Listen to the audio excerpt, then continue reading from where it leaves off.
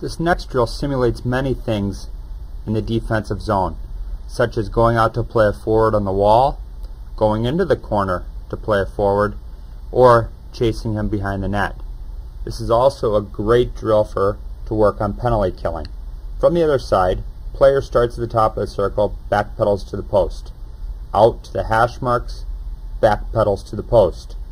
Out to the corner, back pedals to the post to the back wall behind the net, back walls, back pedals to the post.